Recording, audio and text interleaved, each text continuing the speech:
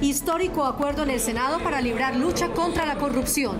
De manera unánime decidieron reunirse el 5 de junio en plenaria para votar la conveniencia de convocar a los colombianos a participar en la consulta anticorrupción. Senado propone reforma pensional sin aumentar edad de pensión ni semanas de cotización. Senadores pidieron al gobierno intervenir con urgencia en el Catatumbo para detener ola de violencia desatada por los enfrentamientos entre el EPL y el ELN. Congreso pide intensificar la acción militar contra las disidencias guerrilleras. Feria Internacional del Libro en Bogotá, una experiencia de sensaciones.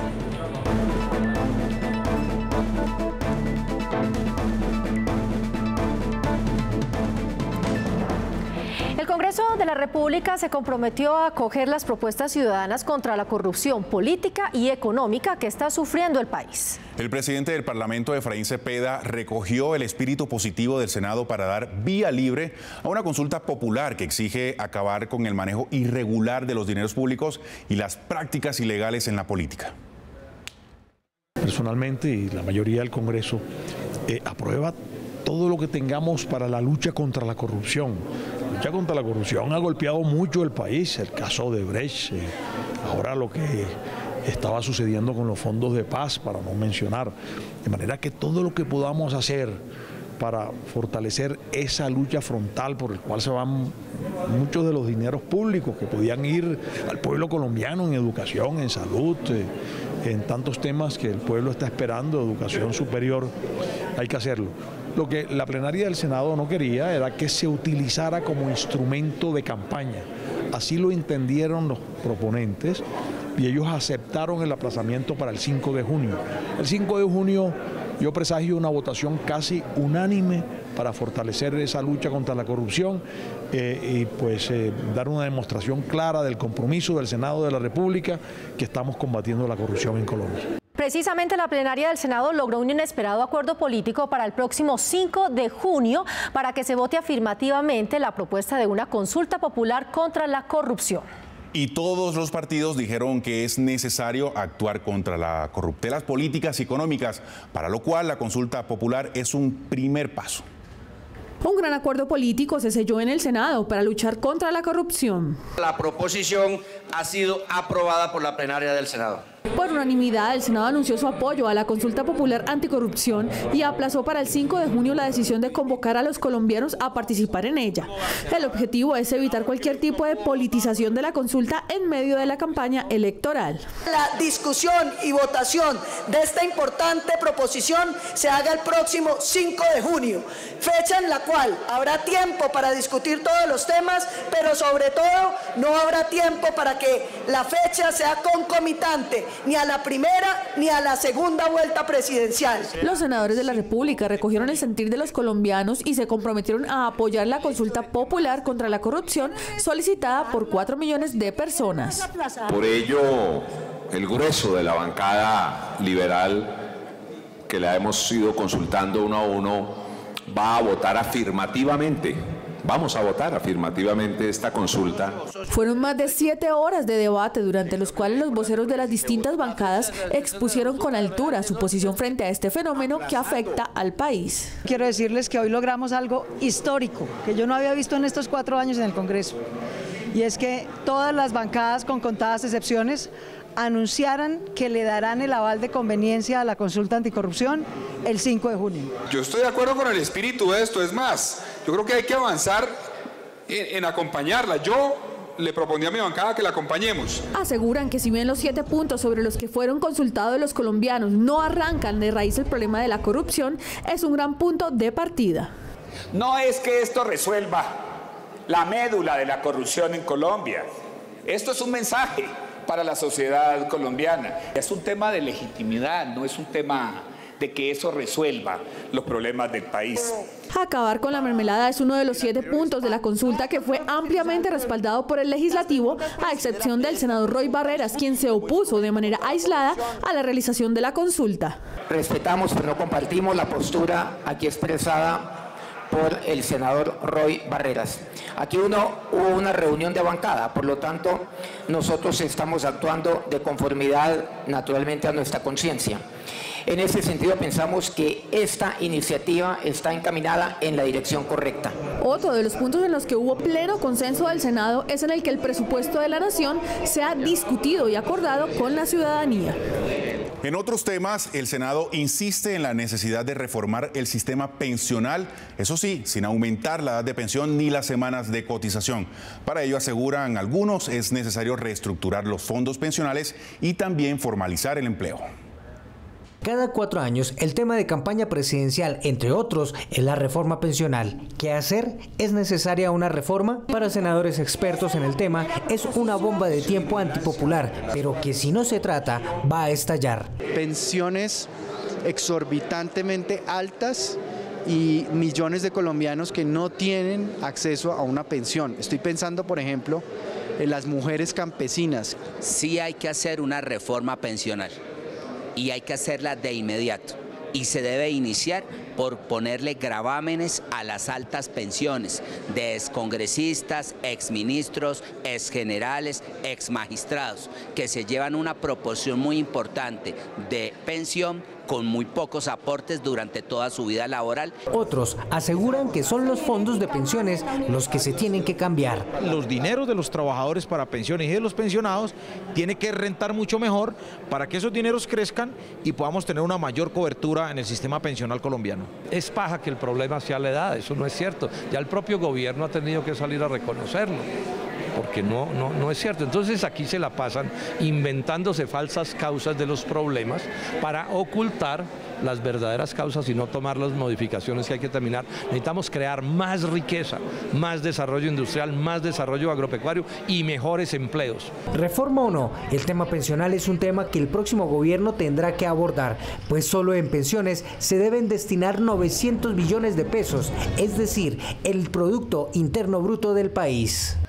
Otro de los retos del Senado es solucionar los graves problemas en atención que tiene el servicio de salud. Una mesa de trabajo con participación de todos los partidos busca reformas estructurales al sistema. Este video fue captado en una institución médica de Bogotá y a pesar que existen normas y leyes, las instituciones médicas siguen sin cumplirlas. Pacientes en pasillos, demora en la atención, inexistencia de medicamentos, esa es la constante. Mientras el régimen contributivo muestra 44 billones de pesos de utilidades, los hospitales públicos van en quiebra y quienes terminan pagando los platos rotos son aquellos de menores recursos, los más vulnerables que no tienen acceso a la salud en el país. Por eso desde la Comisión Séptima de Senado hacen un llamado para que cuanto antes se realice una reforma al sistema de salud que atienda a los colombianos que está en crisis y viola los derechos de los ciudadanos. No tienen insumo, no tienen cómo pagar los médicos, pues no van a poder atender a los colombianos y entonces se pone en riesgo la vida y por eso se plantea que es necesaria una reforma de fondo, de orden estructural al modelo de salud y, eh, en Colombia. Gran parte de estos recursos se están quedando en el manejo de dichas empresas.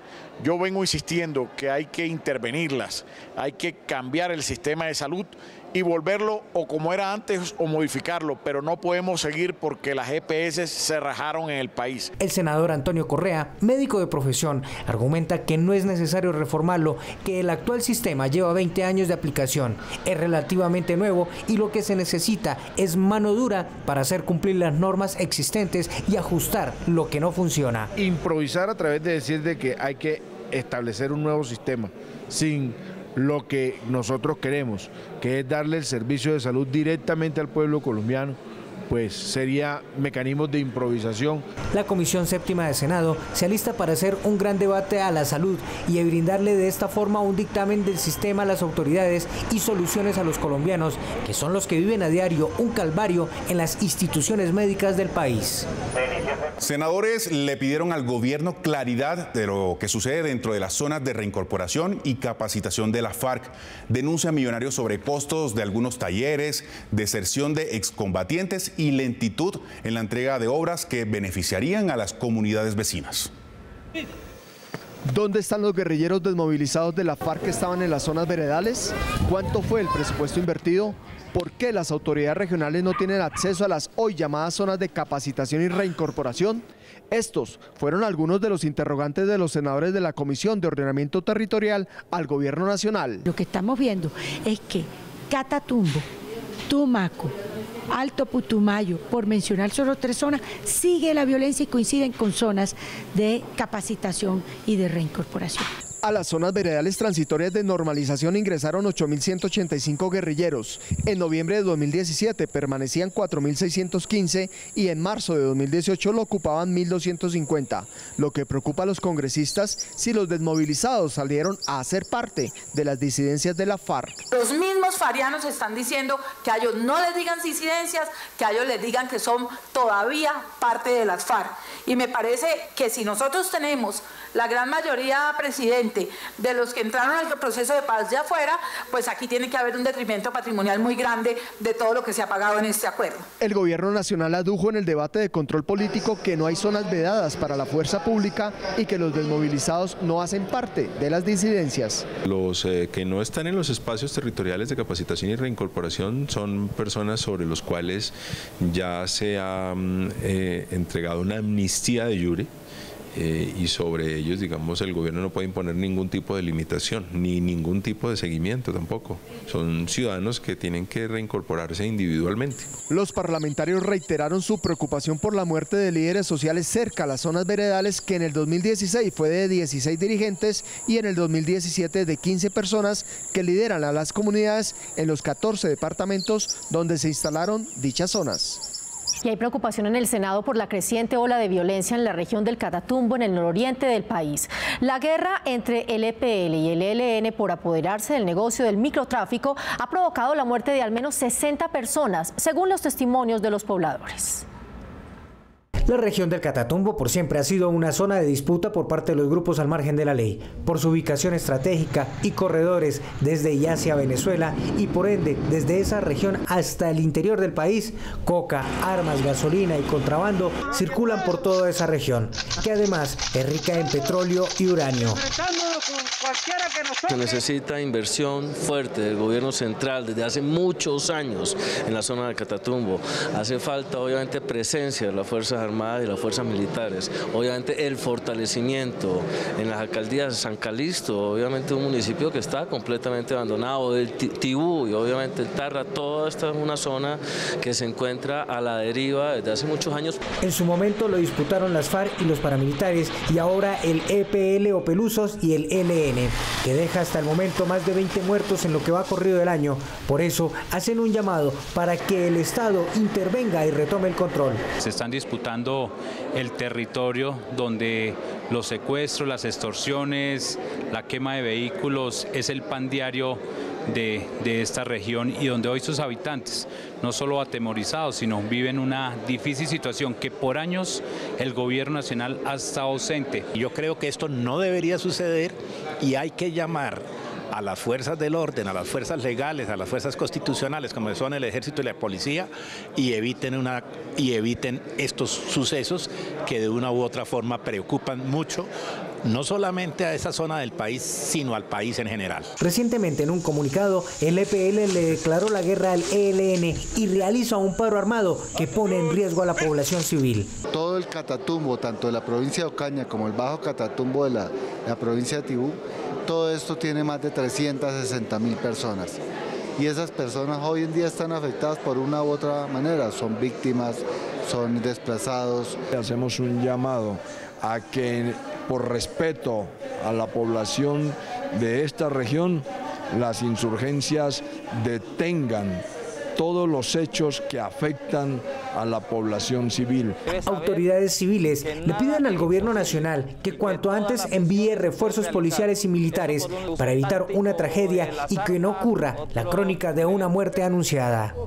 Otra región azotada por la alteración del orden público es la zona de frontera con Ecuador. En las últimas semanas fueron asesinados tres colaboradores del diario El Comercio y secuestrados también dos ciudadanos ecuatorianos. La única forma de dar tranquilidad y recuperar la seguridad en la frontera entre Colombia y Ecuador es el trabajo mancomunado entre los dos países. Así lo aseguraron los senadores. Que se cree una fuerza de tarea combinada, que ese es el término militar adecuado para que se puedan llevar a cabo ejercicios desde el punto de vista militar de la Fuerza Pública Ecuatoriana y Colombiana. Trabajemos en llave porque hay una problemática de la frontera que afecta tanto a Colombia como a Ecuador que en algunas ocasiones ha afectado más a Colombia, ahora afectó más a Ecuador en esta particular situación, pero que es de los dos países hermanos. Para los legisladores, Arias Guacho tuvo la oportunidad de acogerse a una vida sin armas durante el proceso de paz con las FARC. Ahora debe pagar por los delitos que comete. Ya no hablemos de disidencias, hablemos de que son personas que son criminales y que tenemos que atacar tanto Ecuador como Colombia de manera contundente para que respeten la vida y los derechos. Mostrar que no se va a tolerar de ninguna manera que haya organizaciones ligadas al narcotráfico que secuestran, someten a condiciones de cautiverio infame y después asesinan a personas. Fuerza y decisión para resolver este problema con este guerrillero y su grupo que está bajo su mando. Legisladores aseguraron que es necesario además generar oportunidades de empleo en la frontera y en especial para los jóvenes, quienes acorralados por la situación económica y social se ven abocados a la producción de cultivos ilícitos. El Senado pidió una lucha sin tregua para acabar con las disidencias guerrilleras que abandonaron la paz para dedicarse a la delincuencia y el narcotráfico. Con dureza y de frente le piden senadores de la República al gobierno nacional que combata las disidencias de las FARC en el país. Según organismos de inteligencia, en la actualidad subsisten cerca de 23 disidencias, con 2.000 hombres operando en el territorio nacional y que ya atemorizan a los pobladores donde operan. No hubo un plan para para cubrir el territorio que dejaban las FARC como movimiento armado organizado en su tiempo. Y, segundo, eh, pues se debe contener con toda la fuerza pública. Las disidencias son aquellos guerrilleros de las FARC que no se sumaron y se desmovilizaron luego de la firma del acuerdo de paz. Los senadores le solicitaron al gobierno que afine los organismos de inteligencia para saber dónde están y evitar que se fortalezcan militarmente. Por eso la exigencia debe ser perseguirlos, capturarlos y ponerlos al frente con la justicia. Esa gente tuvo una buena oportunidad, que fue el proceso de paz. Evidentemente no están en un tema de una lucha política, están en tema de un negocio, de un negocio que le hace daño al país, a la sociedad, de manera que el Estado tiene que actuar y capturar o neutralizar a ese grupo. Desde el Senado hacen un llamado a la comunidad para que denuncien o colaboren en el binomio Fuerza Pública Ciudadanía y entre todos frenar este flagelo de una vez por todas. Dos meses después de la filtración de petróleo a cuerpos de agua en Lizama, Santander, senadores de la región le pidieron al gobierno indemnizar a las cientos de familias damnificadas por la contaminación y también advirtieron de los riesgos del fracking en los trabajos de exploración de combustibles. Un categórico rechazo a la práctica del fracking o la fracturación hidráulica del subsuelo para extraer gas y petróleo formuló el Senado de la República tras la crisis ecológica que generó el derrame de 550 barriles de crudo en la Lizama Santander. Queremos tener la certeza de que en el futuro, cuando ocurran estos eventos, hay que tratar a toda costa de evitar, por supuesto, que ellos ocurran. Hay una respuesta rápida para eh, evitar que se ocasionen daños a las personas, a la fauna, a la flora, en general a la naturaleza. Lo que hemos dicho es que, eh, de hecho, nosotros no hemos dado ninguna licencia de exploración y menos de explotación para el uso de eh, tecnologías de fracturamiento hidráulico de la roca generadora de la roca madre. Ante las cifras de las pérdidas a la flora y la fauna que ascienden a los 3 mil millones de pesos, los senadores le insistieron al gobierno nacional la atención a los damnificados y la indemnización a pescadores, agricultores, ganaderos y labriegos. La manera de subsistir de estas comunidades es con la pesca, es con los cultivos de pan coger y por supuesto han sufrido unos daños que merecen ser reparados por parte de los responsables de la negligencia o los errores que ya hayan cometido con este derrame? La Comisión Primera del Senado insistió en la construcción de una nueva regulación para el sector petrolero, previniendo más desastres ambientales por cuenta de la exploración de petróleo. Diputados de la Asamblea de Huila llegaron hasta el Congreso de la República para pedir una solución definitiva en la vía que une a Florencia con Neiva, bloqueada frecuentemente por derrumbes. Con cadenas y candados protestaron los diputados de la Asamblea del Huila por el bloqueo vial entre ese departamento con Caquetá y Putumayo que afecta el comercio y la economía en el sur del país.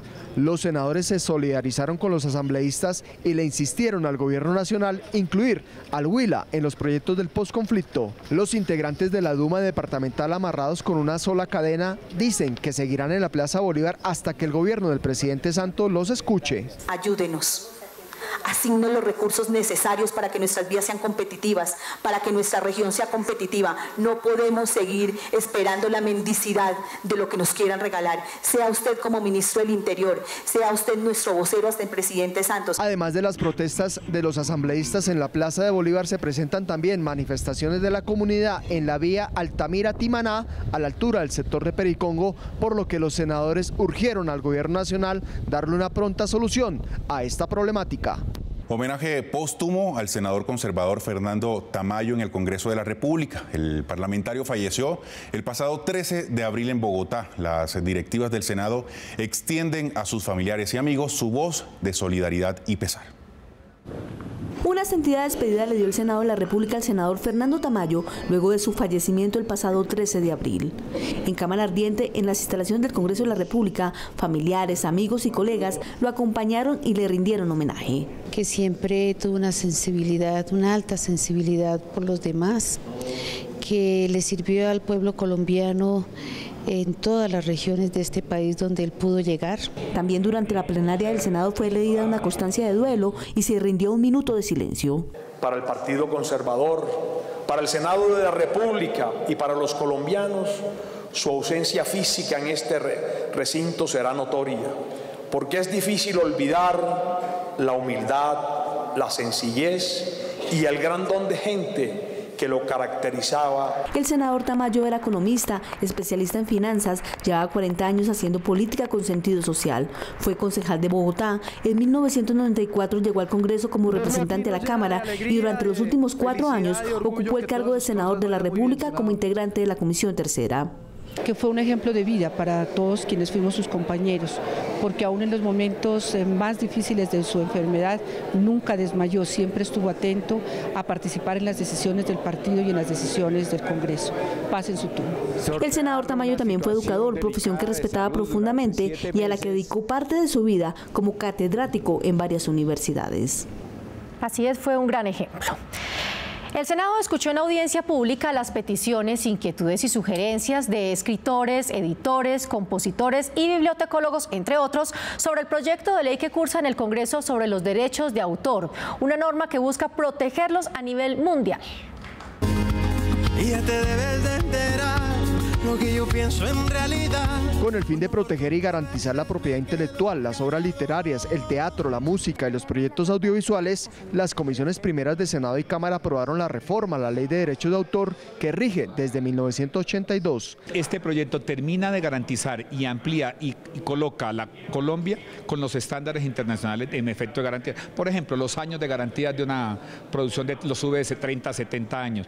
Los artistas se mostraron agradecidos con las modificaciones ya que protege a los autores en sus composiciones y obras escritas, evitando la piratería y el plagio. ¿Qué beneficios estaríamos hablando? Nuestro llamado es a que se apruebe tal como está redactado y conscientes de la potestad del Congreso en introducir mejoras o modificaciones al mismo solicitamos las mismas sean acordadas con nosotros que somos los directamente afectados.